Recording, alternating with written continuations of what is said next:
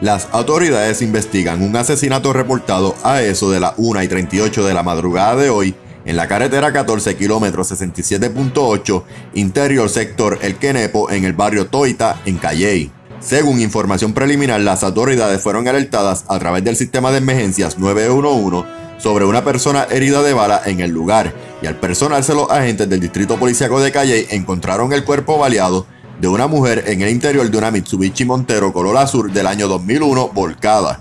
La oxisa fue identificada por sus padres como Eminet Mari López Rivera de 21 años y vecina de Calley. A la escena se personaron los paramédicos de emergencias médicas estatal. Además se ocupó el vehículo y fue transportado hacia la comandancia de Caguas. Un hombre fue ultimado a eso de las 9 de la mañana de hoy en los predios del Club Gallístico de San Juan, ubicado en la carretera 173, jurisdicción del municipio de Guaynabo. Según el reporte policiaco, una llamada al 911 alertó a las autoridades sobre una persona herida de bala en el lugar. Al llegar los policías municipales encontraron el cuerpo baleado de un hombre. El occiso fue identificado como Michael Márquez Gavillán de 47 años. Las autoridades investigan una muerte violenta y un herido de bala en hechos ocurridos a eso de las 3 y 25 de la madrugada de hoy en la avenida Juan Ponce de León. Según se indicó, se recibió notificación a través del centro de mando de unas personas heridas de bala en la acera, y al personarse los agentes del precinto de Santurce al lugar, encontraron a dos hombres, uno herido de bala y otro ya sin vida. El occiso fue identificado como Carlos Rubén López Vizcarrondo y el mismo tenía varios impactos de bala en diferentes partes del cuerpo. Este yacía en la acera boca arriba y fue identificado por su padre en el lugar de los hechos. Por otro lado, el hombre que resultó herido de bala en este incidente tuvo que ser transportado por paramédicos de emergencias médicas a un centro hospitalario y al momento se desconoce su condición de salud. Las autoridades diligenciaron en horas de la madrugada de hoy una orden de arresto por ley 54 contra Manuel Rosario Coto de 30 años en la calle 3 de la urbanización Sierra Bayamón en el mencionado municipio. Según la investigación de la policía, el pasado 29 de octubre, a eso de las 8 de la noche, el imputado interceptó en una motora a la víctima en la carretera 199 área de Royal Town en Bayamón, donde le bloqueó el paso.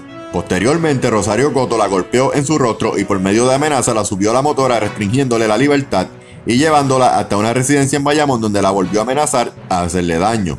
Este caso se sometió en ausencia y la juez del Tribunal de Bayamón expidió la orden de arresto con una fianza de 50 mil. Tras el arresto, el mismo terminó ingresado en el complejo correccional de Bayamón por no poder prestar la fianza.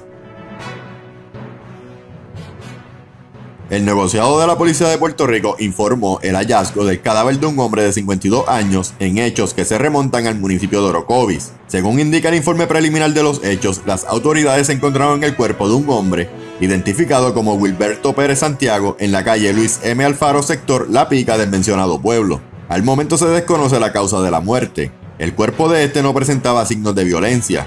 El cadáver será llevado al Instituto de Ciencias Forenses en Río Piedras.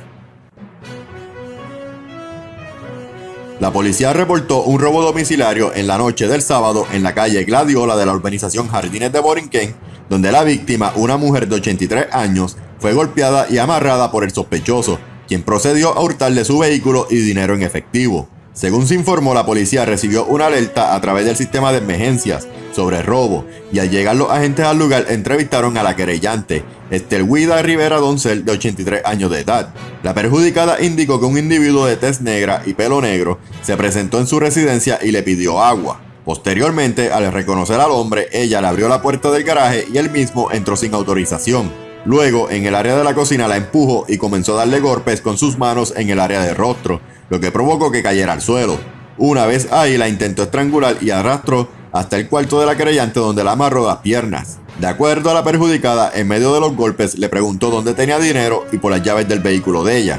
La querellante le dijo que tenía dinero dentro de su auto, el cual se encontraba en la marquesina, y él mismo se fue y regresó en unos minutos para soltarla. El sospechoso se marchó del lugar apropiándose de un Nissan Versa hatchback del año 2012 color rojo y de 260 dólares en efectivo. Tras lo sucedido, la querellante caminó a la casa de la vecina, quien la socorrió.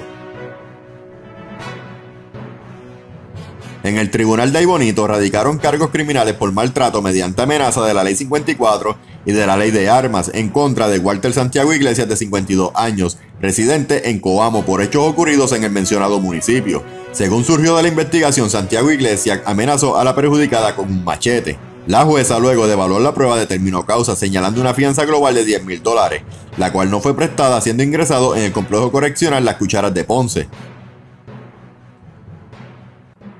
En el Tribunal de Mayagüez, las autoridades radicaron cargos criminales por los delitos de escalamiento, apropiación ilegal contra Obed Toro Ayala de 40 años, residente en San Germán. El 3 de octubre del 2022, en la carretera 330 km 3.8 del barrio Barcelo de San Germán, el imputado forzó la puerta de entrada de la residencia del perjudicado con un machete y se apropió ilegalmente de dos generadores eléctricos, tres televisores, una cortadora de árboles, tanques de gasolina, una estufa y una laptop. Toro Ayala fue llevado ante la presencia de la juez, quien luego de examinar la prueba encontró causa y le impuso una fianza de 10 mil dólares en cada uno de los cargos, la cual prestó mediante fiador privado. Las autoridades se encuentran investigando un hurto reportado en la carretera 2 en Barceloneta. Según la policía, un empleado de la compañía de telecomunicaciones Claro notificó sobre la desaparición de 100 pies de cable. El valor de la propiedad fue estimado en 1.668 dólares.